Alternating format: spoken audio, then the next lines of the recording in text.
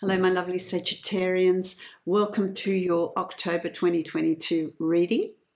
This is a general reading for you, my lovely Sagittarians. It's a reading for Sagittarius, Sun, Rising, and Moon sign. Also, listen to your um, rising sign and moon sign. Sometimes they resonate more for you than your sun sign will. If you would like to book a private reading with me, you can follow the link below to my website and book a reading from there that will be specific to you. Well, my lovely Sagittarians, I've been meditating on your energy and seeing what um, what energy is coming through for you for the month of October, what energies you're going to be working with.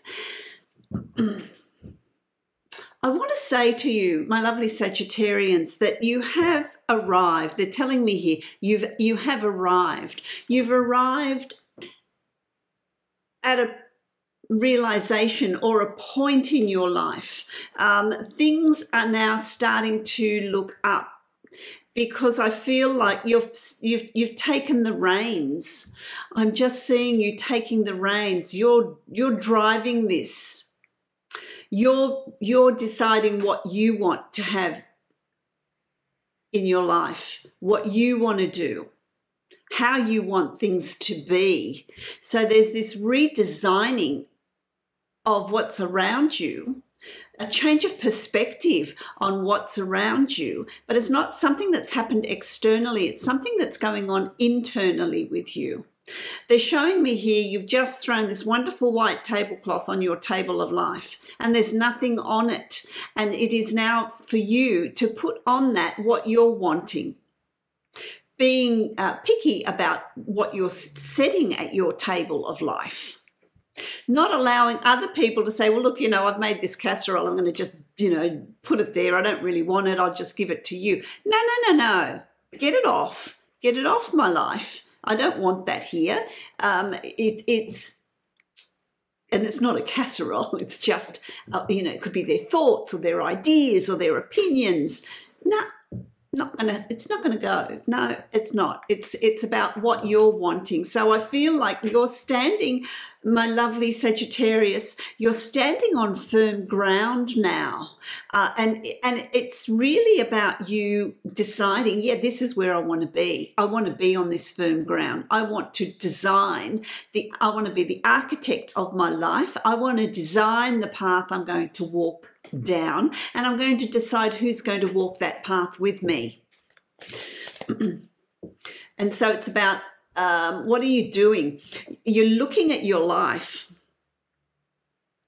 What needs to be brought into it? What is going to complete it? What is it that you're desiring to bring in? What are you ready to receive? Really, they're saying, this is what they just my guides have just said. What are you ready to receive? And so expect the best. Aim high. Don't create a glass ceiling. Mm-mm. Aim high. Expect the best of the best to come to you. Have high expectations. October is going to lay the footwork, the groundwork for what's going to come. December, January, February, March. I feel like there's a, big shifts coming here for you. And I, that's absolutely fabulous. I really like how that feels. It gives it, it sort of um, my lovely Sagittarius. It's giving you that that that fire in your belly. It's giving you that drive. It's not just about putting one foot in front of the other and, and the routine. It's the routine that doesn't work for you needs to be something other than routine that's going on with you in your life. So what are you going to do? What are you going to design? What, how are you going? What changes are you going to make? Are you going to move? You're going to change locations. Uh, are you going to move into state? Someone's moving into state. Change your work. Um, and if you're not changing your work, you're making it fit you better looking at your personal life what gaps are there what needs to be brought in what needs to be fixed and that's not for all of you it's for whoever it it fit if the shoe fits you know um, is what they're saying here to me. I'm going to, oh, you've got two cards. I'm drawing cards from my Dreamtime reading cards. Two cards fell out. Uh, let's have a look at what energy is coming in for you. What animal totems do you have? Oh, I like this. You've got the magpie and the carpet snake. I like that. The magpie, magpies, they're, they're, they're, interesting, aren't they? They're very familial. They're, they're, um, they're birds that once you earn their trust, they'll come back. They'll come back um, and they'll bring their young and, and they'll trust you. If you don't, if you do something that harms them just once, they'll never forget it. So the magpie, what it says here is the spoken word. They're, noisy little things, aren't they? The spoken word is going to be very important for you in October. That's speaking up for yourself. What do you want? What you, and it, it's even speaking to yourself. It doesn't necessarily mean you need to speak to others, but it's about speaking to yourself. So, what do you need? What self-talk have you got have you got going there? What do you need to say to somebody else? It's going to be, you know, it's, it's the self-talk's really important, but also maybe you need to speak to someone else about something to make it more uh, more about what you want. Let's read this. The magpie is associated with chatter gossip and the power of the spoken word. It also reflects the struggle of the adolescent. Mm. The bird often visits to remind you that gossip, and more importantly, your reputation, is something that you must be mindful of. It warns against talking about other people and the damage that gossip can do. I don't feel like that sort of sits with you. Talking with someone you trust can be very therapeutic, but talking badly about others can be destructive and hurtful. The, the magpie is always chatting to itself this is what this is what's highlighted here for me. The magpie is always chatting to itself, to its offspring, and even to other birds. It can indicate that there will be discussions or that you may be the topic of others others talk. The best thing to do is to watch your words, speak nicely about others and avoid idle chatter and, and make your words count. I feel like I want to say to you it's about making your words count talking to your, this is what I was saying to you, that self talk. What processing's going on there with you, the self talk that's going on. It's going to make uh, an impact. And then speaking to others, not maliciously, but, but choosing your words wisely is going to be important. And then you've got the carpet snake.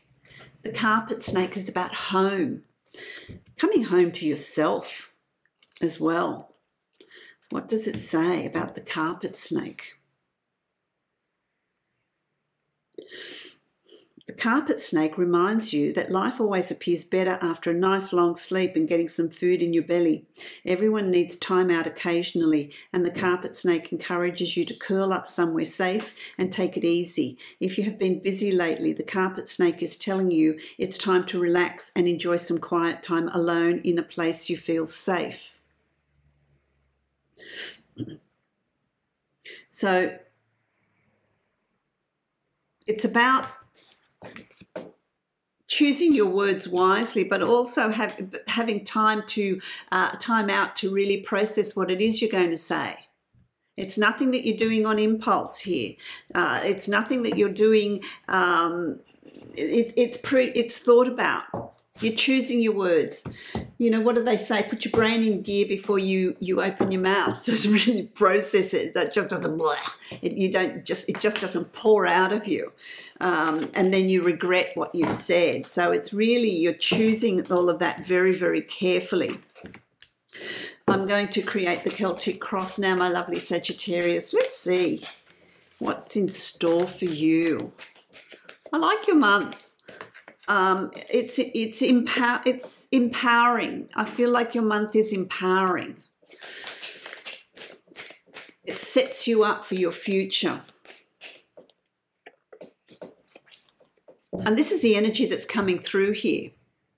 This is how the stars have aligned for you for October. And so, really, there's also free will. What are you going to do about it? Are you going to ignore it? Are you going to use the energy that's there? Are you going to follow your instincts or your, you know, what you're feeling you need to do? Because that's going to really, your intuition's going to be heightened as well, which will lead to a lot of new opportunities for you. It's really setting you up for the next few months very, very well. I like that a lot. What have you got? You've got the Princess of Wands. The winds of change are coming through here. This is your suit. The, the suit of um, action, of enthusiasm, of, of passion, of joy, um, of life's purpose. But, you know, it's it, initially, it's about the Princess of Wands it's about it's like a page of wands. It's about you really thinking about the process, not acting instantly, taking some time out, thinking about the process, but having this sense of intuition where you can really feel that wind of change coming through.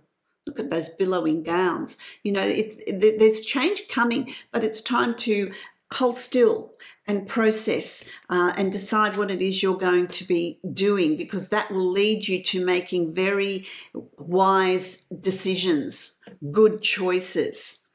I like that. You've got the Four of Wands here. There's also some sort of celebration coming up here for you in October. Um, it's it's uh, someone that it, it's to do with someone around you or you. Uh, there's celebrations coming up here. Uh, it can be a uh, a birthday, an anniversary, a wedding, an engagement, birth of a child. Um, it can be just you celebrating your successes, the changes you're bringing in. Uh, but it, it's it's a time of socializing. It's a time of joy. It's a time of really. Um, what are they saying? Really being light-hearted they're saying here to me being light-hearted and really enjoying whatever events are coming up for you who's planning a holiday as well. There's some sort of getaway or some sort of holiday which i really like. That's really nice. That's really nice. There's um, also a lot of there's a lot of wands here. You're really standing in your own energy here in october. You've got the two of wands here and the two of wands is about decisions and choices. There's going to be choices here for you to make. There's decisions here for you to make. Follow your intuition. Follow your your heart. Um, really, don't overthink things. Know whether you're going to say yes or no to certain situations. What opportunities are coming up here for you? There's decisions and choices that are coming up here for you that are going to have um, that are going to have far-reaching effects into your future, and that's a good thing. I'm not saying that it's like oh, oh, it's a good thing. These changes are going to be really good in moving you forward. There's forward movement, and you you know look how calm the water is. So emotionally, you're feeling quite good about the changes that are coming in, or the decisions and choices that you're going to be making. So October is going to be a month of decision making a month of uh, the spoken word being important, a month of really being processing what it is you're wanting. So you really need to define what you want, what you feel like you want to bring into your life. You've also got the Queen of Cups sitting here. Now, for some of you, this is a Cancer, Pisces, Scorpio, uh, male or female that uh, is is in your in your life or in your thoughts, you're thinking about. Um, it's it's just uh, uh I, feel like it, this is someone that's going to that's going to be in your thoughts in october that there's going to be things and discussions. There's discussions around this person. I feel like there's discussions around this person in october. Um, so they're really going to have some sort of um, presence, I want to say, around you in um, in October. So there's some influence here, there's some presence here. This can also be you. This can be you saying, uh, uh, and it, you know, for some of you, this is this is an energy that's coming in around you. The Queen of Cups is a, a nurturer, is someone that will nurture. Uh, so it's about nurturing others and nurturing yourself. So it's about in these decisions that you're making. There's a consideration of others around you as well.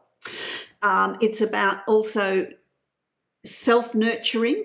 It's about using your intuition in this is in you know um, using your intuition a lot how does you, how, how's your body speak to you when you're making a, cho- a decision making a choice? How does it feel? How does it sit with you? You know sometimes when you decide you're going to do something and your stomach is absolutely doing flip-flops and it's in turmoil and it doesn't feel right you know people say this doesn't feel right. They're the words that people use. Or sometimes i think oh this is there's no logic in what i'm going to decide but it feels right. I feel good about it tapping into your intuition, feeling what's going on in your solar plexus when you're making choices and decisions as well. You've also got the tower. So, at some point in October, there's going to be a time when you are going to look at releasing certain aspects in your of your life, certain things in your life. It could be certain um, behaviors or thought processes or attitudes or cycles that you have, certain habits that you've fallen into that now need to be done with, need to be released.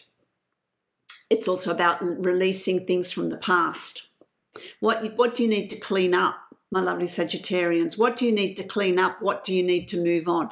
Um, is this oh, who's gossiping around you? Who's gossiping around you? There's gossip going on. You know, do you want that? Do you want that, or are you going to shut the door on that and move it on? You know, uh, it's not necessary. To, in the energy that you're coming into, you don't need that. So, is that something that you're cleaning up? Is it a job that you're releasing to get something better? Is it a, a, home that you're releasing to, to move somewhere better? What is it for you? What are you letting go of? What are you letting go of? Turning your back on the gossip, turning your back on negative talk, turning your back on something that's going on around you, which is good. I like it. You've also got the Prince of Wands. This is like the Knight a lot of wands, a lot of wands. You're really coming into your own, my lovely um, Sagittarius. You've got the Prince of Wands. This is about, oh, what is it? After week two of October, they're telling me here there's forward movement. It's time to take action. You've set the groundwork at the beginning of, of October. By the, the end of the second week of October, it's time to charge ahead. It's time to move forward. It's time to put things in place. It's time to take action. It's time to be proactive about what you want to bring in around you. So it's a time of action, a time of action. It's a time of pursuing your your passions, your enthusiasm, your life's purpose, the direction you want to go in forging ahead, moving forward. And that forward movement, you've got the Seven of Pentacles here. And I like that. This is also about patience. So, you know, you'll make these choices, these decisions, you'll bring new things into your life. But then you think, oh, it's not moving as quickly as I would like. I wanted it all yesterday. Well, it's not going to be there yesterday. It's going to, it will happen, but it's not going to happen overnight. It's about patience. It's about preparing your, uh, you know, tilling the soil, fertilizing the soil, watering your plants, watching them grow, watching them bear fruit, and then reaping the rewards of that. I feel like the things you're putting in place in October, you're really going to see the benefits of the end of December, January, February, March you're going to start seeing the benefits of the work that you're putting in, the changes that you're making here. Uh, so it's well worth the effort because it is going to pay off. It is going to bring into your life the abundance that you're seeking, be that love, be that health, be that financial, be that work, uh, career, be that study, whatever it is, whatever form it takes for you. You will start to see the benefits of it. So it's well worth the effort. What you've got here is the High Priestess. It speak this speaks of your um, your intuition. It's going to play a very big part. Connection with your guides, connection with your tribe, uh, active dream life, messages coming through your dreams, inspirational thoughts. You know, when you're sort of sitting here and you think, oh, look at that idea. Ah, that idea's just dropped into my aura. That I, it's just, I've got this idea. How clever. How that I've got to investigate that. I'll pursue that. That's inspirational thought. Um, you're going to get a lot of that towards the end of October. Um, your intuition is going to be heightened at the, towards the end of October as well. Always use that as your guide. Um, your guides will connect with you through your dreams or through inspirational um, thought or just how you're feeling. You'll have this sense of knowing. Don't dismiss it. Don't dismiss it because it's going to be quite significant. You've then, of course, doesn't surprise me that you've got the Ace of Wands, my lovely Sagittarius. By the end of October, there's going, I want to say the last week of October, there's a new chapter coming up here for you.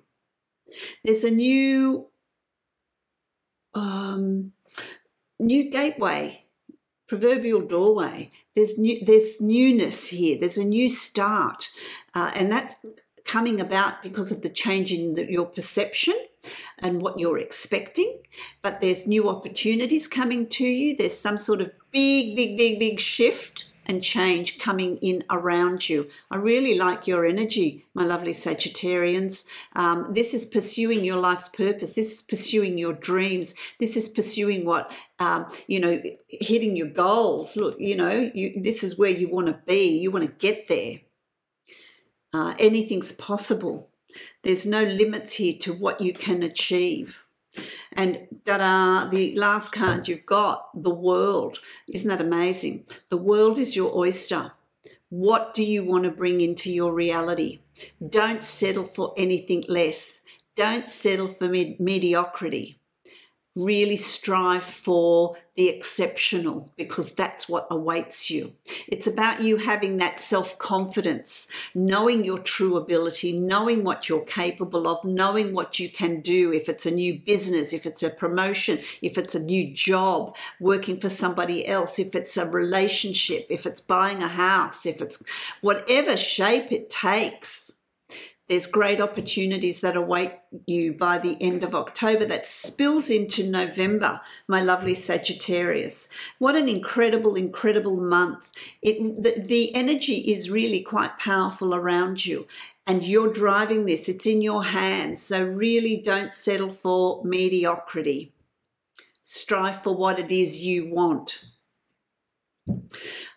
I hope that this reading resonates for you or part of it resonates for you, this is a general reading. If you'd like to book a private reading, you can follow the link below to my website and book a reading from there. That will be specific to you. Love, light, and many blessings to you, my lovely Sagittarians.